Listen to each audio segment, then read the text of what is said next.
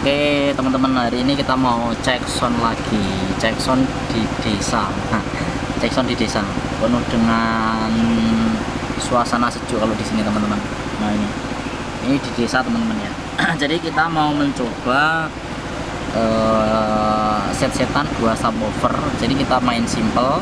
Apakah seperti ini sudah support? Kalau seumpamanya digunakan untuk job hajatan di desa hanya dengan dua box subwoofer 18 ATV 118A dan juga hanya dengan uh, Lenare dari produknya elektroakustik nanti dua box seperti ini. Oke sebentar teman ya kita siapkan dulu perangkat-perangkatnya.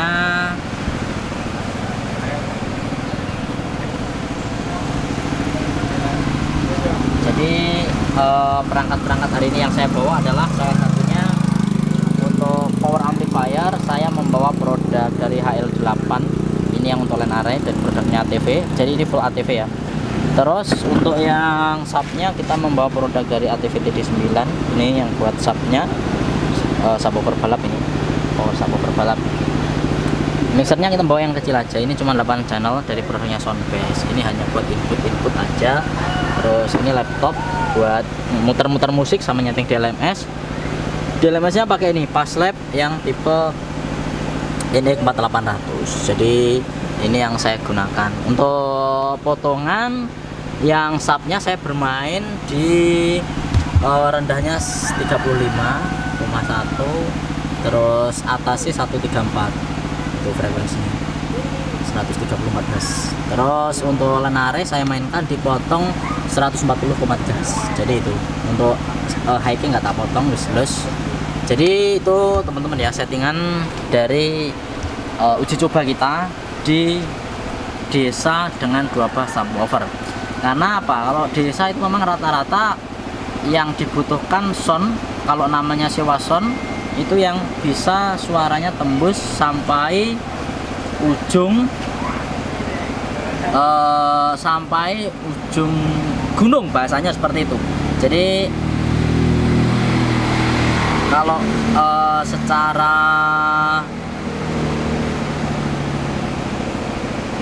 secara apa ya secara fungsi kalau seumpamanya job di desa itu kalau orang-orang daerah sini pun pokoknya namanya sound kalau dibunyikan sewa itu harus bisa dengar sampai gunung sebelah. Jadi meskipun nggak usah clarity claritinan sebenarnya kadang pokoknya kalau yang e, ditangkap dari orang daerah di sekitar sini bahkan yang paling penting bassnya jadi bassnya bisa kenceng vokalnya kenceng wis itu aja sih. Jadi tidak terlalu berpengaruh. Tapi kalau bagi-bagi teman-teman sound system ya paham lah clarity. Tapi bagi yang eh, teman-teman uh, artinya hanya mensewa orang sewa itu rata-rata hanya mengutamakan kerasnya seperti itu oke ya kita hanya menggunakan satu kabel. Nah ini hanya menggunakan satu kabel. Itu gua dulu ini kipas ya iya mati mati. Oh mati listrik kok iya. oh alah yes ramu ini hanya saya menggunakan satu kabel ya isi empat dua kali setengah. Yang ini buat middle ini sub wis ngono kok main ini terus di subnya itu kita juga main simple banget. Hanya menggunakan dua sub ATV 118 ini kalau bentuknya kayak orang hajatan nih ini kayak orang rumahan jadi hanya dua box sub.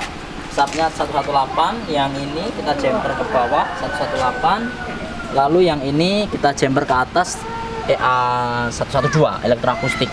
Untuk speknya ini ya sudah saya review tapi kita nggak apa-apa baca lagi spek dari elektroakustik yang EA112 Pro. Dia main di 8 ohm ini per box frekuensi 100 Hz sampai dengan 19 kilo. Sensitivity 99 dB power programnya 900 watt maksimumnya 1200 watt. Ini kita bermain di 4 ohm. Jadi kalau kita bermain 2 box itu bermain di 4 ohm teman-teman. Jadi ini kita elektroakustik main di 4 ohm.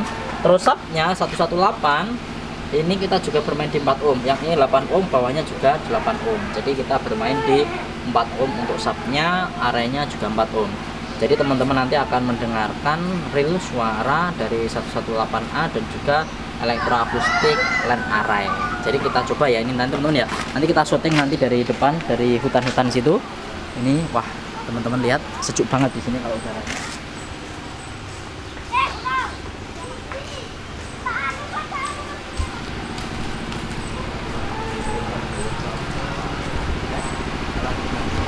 Oke ya, sekarang kita coba dulu di lagu DJ Clarity.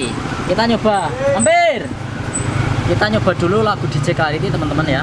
Terus nanti coba kita mainkan di dangdut juga dan juga DJ yang ngebit-ngebit. Oke. Sekarang saya coba dulu di DJ lagu dangdut Clarity. Apa mati listrik, Mang? Kok dipindah?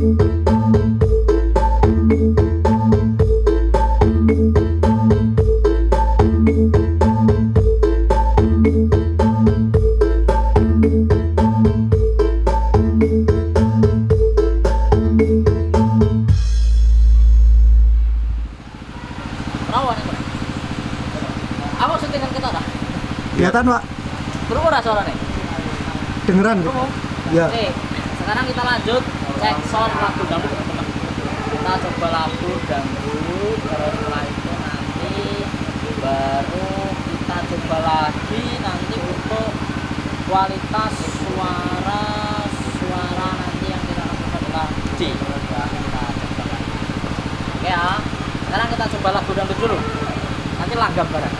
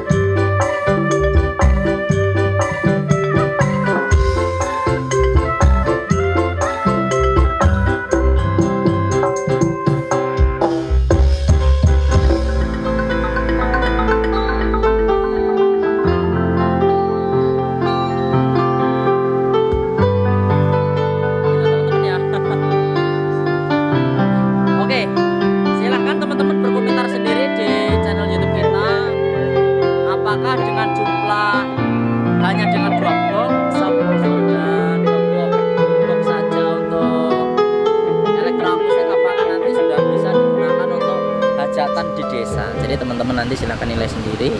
Jadi ini real daripada produk ATV 118 hanya dua box dan produk elektroakustik dua box saja teman-teman.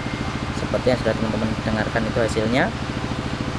Dan kalau kita mendengarkan dari real hasil bahwa clarity-nya memang lebih dapat ya untuk elektroakustik karena memang line area-nya itu smooth banget jadi lembut banget. Kalau untuk e, karakter 118 masih tetap nyodok yang pasti oke setelah ini saya putarkan DJ lagi teman-teman. Setelah itu nanti saya akan putar dari sana. Saya nggak ke sini nanti saya dari sana. Saya akan memutarkan lagi lagu langgam. Jadi teman-teman tahu kalau di desa itu pakai langgam pakai DJ nah dan kalau DJ saya jarang ya tapi buat membuktikan kualitas suara dari 118 A dan